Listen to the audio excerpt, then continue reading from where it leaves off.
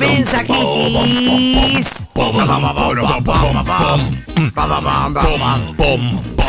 Bueno, mensajes al 11 64 04 1015. Muchos también con la gotera. La gotera, la gotera es un pero gran problema Es un día de mierda. Es un gran problema de familias.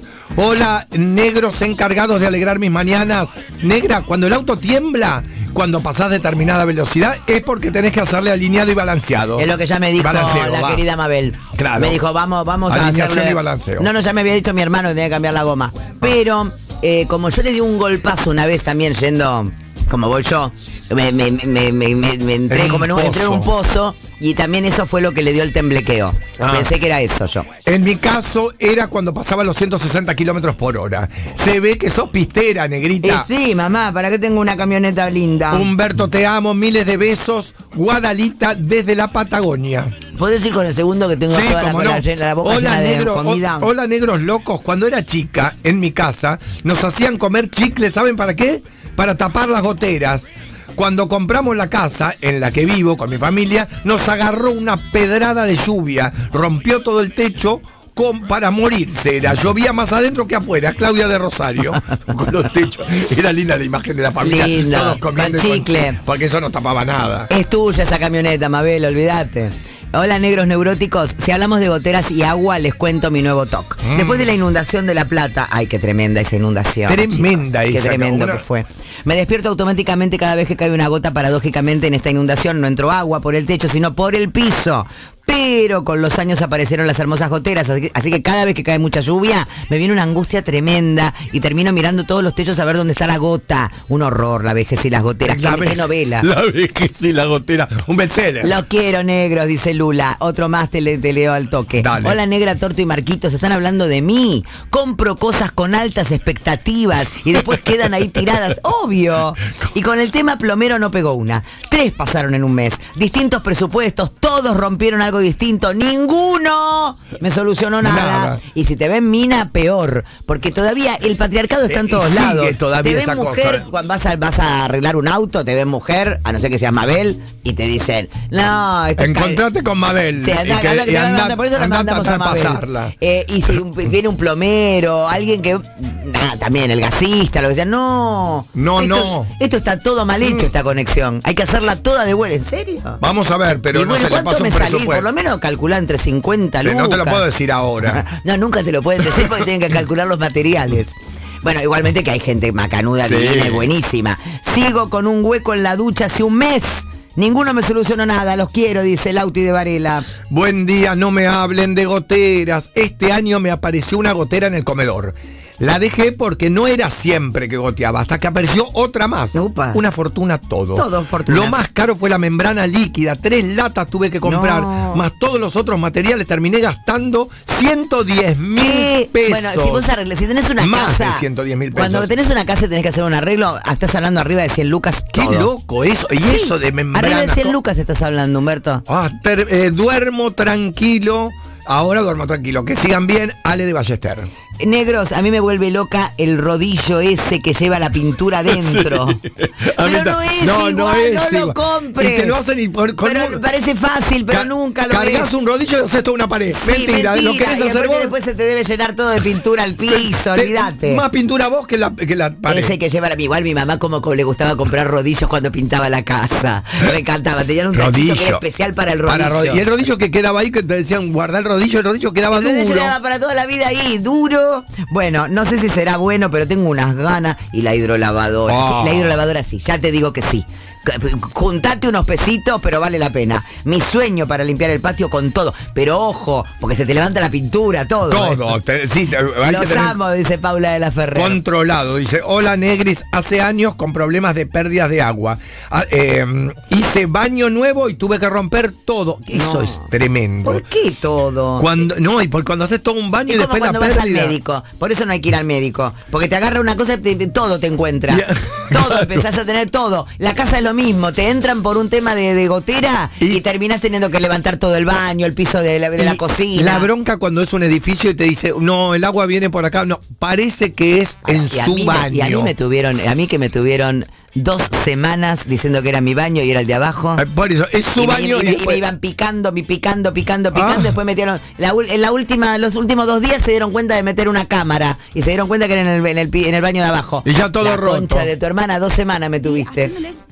Dice, nunca encontraron el problema, pierde el inodoro, el inodoro, el inodoro, se arregla y gotea el lavatorio, se arregla y empieza a perder el desagote, se arregla y, y se rompe el lavarropa y se inunda todo. Harta estoy.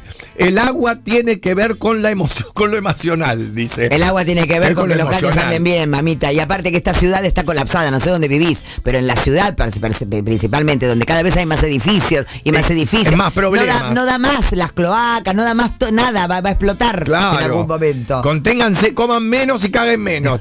Lo que se expresa en, en el cuerpo, lo que no se expresa en el cuerpo, se expresa en la casa, ponele. No, la casa se va rompiendo más allá del cuerpo, mi vida. Dice la casa vieja se va a romper. Y si no tenías plata para arreglarla, se te va a venir abajo. Se te viene abajo cada Y vez más. arreglar una casa es carísimo. Entonces, bueno, hay una realidad también. Esto lo dice la astróloga de San Cristóbal. Te agradezco, astróloga reina, pero es verdad que pasan No. estas cosas a veces emocionalmente, que tienen que ver con, con lo emocional, pero muchas veces tienen que ver con las estructuras. Dice, parece, dice, ponele. Buenos días, negros unidos. No, negros lindos. Unidos no decía. Tengo el baño afuera en el patio. Tiene techo de chapa y estuve como tres años con una gotera hija de puta que depende cómo te sentabas en el inodoro, te podía caer en la mollera, la espalda o el orto. Porque va Es deslizándose, claro. Lo que dice Marquitos. Nos terminamos acostumbrando y la negra tiene razón. Solo nosotros conocemos nuestra casa, al punto que cuando vamos a una casa donde todas las puertas funcionan bien, no hay un cajón torcido, la pintura está impecable, nos sorprendemos. La dice. bronca, la bronca. A veces es que una vez vine a una casa en una fiesta y veo unos invitados que yo no conocía que movían la- la- las puertas. Abrían y cerraban. Y le comentaba ella al marido. Y acá no ves que acá funciona bien. En Mirá la casa esto". no le funcionaba. Era el mismo arquitecto. No, mira, Dice, ¿por en la de ella, en la de ella no le En funcionaba. la de casa no, no le funciona. Le digo, deben haber puesto algo un poquito más. Lo Habrán que pasa es que uno economizado. tiene que ser exigente ni bien termina en el trabajo de hacer. Cuando vos tuviste, te diste cuenta que la, la puerta era pesada. Tenés que- Hacemos un riel, Sí. Santiago. Mm. O sea, si vos te das cuenta de que no, de que no fluye y quiere decir que el, cambiame- ri- claro. cambiame el riel, mi vida, porque no le estás poniendo riel. Esto va a ser para toda la vida. Claro, y después es toda la vida haciendo una fuerza que no. Por eso, quejate en el momento. Y date cuenta en el momento de lo que te están haciendo. Buen día, ¿cómo Olis. va, negra? Oli. ¿Sabés lo que es lo más feo eh, de las casas? Cuando te vas de vacaciones y te vas a uno de esos buenos, pero buenos hoteles, Uh. que anda todo, que todas las puertas cierran, que las canillas están perfectos, que no tenés que hacer nada y volvés a la misma mierda de donde te fuiste 15 días antes.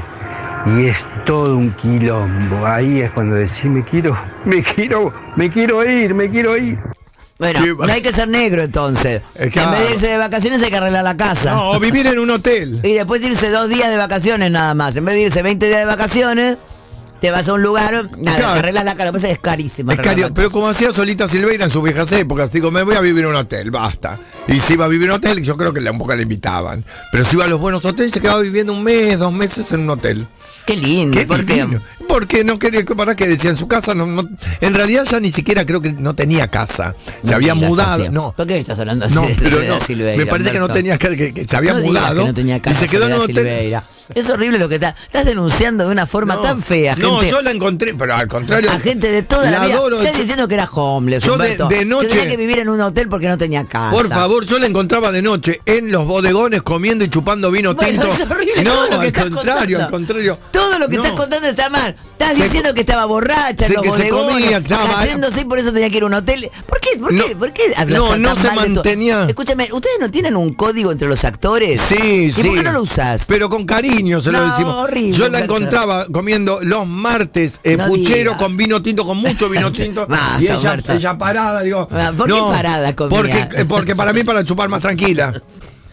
Hola negra, decímelo a mí que gastamos haciendo. 50 lucas para poner todo el techo hermoso, divino, el comedor con, no sé cómo carajo se llama lo que te ponen ahora, y pusimos todo alrededor, esas placas a una a una altura determinada del comedor. Un día venimos y había caído una gran ¿Qué? parte del techo No. y una de, de la pared. Me quería matar, Pero ¿cómo? 50 lucas tiradas a Pero la pará, basura. ¿Lo llamaste al señor? ¿No llamaste al que te lo hizo? Claro, y decirle, me escucha, Hello, mi vida. Porque Hola, ¿cómo andás a ver estás? qué cayó, se cayó una tormenta. Bueno, te dicen, no, bueno. No, lo bueno, pero eso no, pipi, pero justamente la hice para que la, la Claro. tormenta no entre, mi amor. Qué, lo, qué loco Qué cuando no tenés ahí forma de. Yo no sé qué es lo mejor, si llamara una empresa, si llamara. Nunca sabés se sabe. dónde, porque viste, caes si tenés gente de confianza es lo mejor.